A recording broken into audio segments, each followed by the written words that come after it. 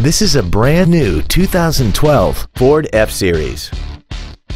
This truck has an automatic transmission and a 6.2-liter V8.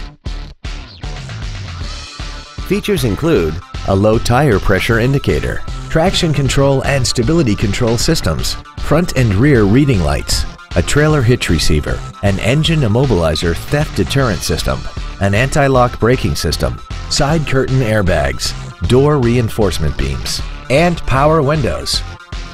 This vehicle won't last long at this price. Call and arrange a test drive now.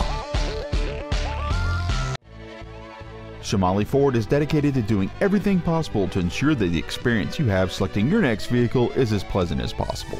We are located at 11301 Gateway Boulevard in El Paso.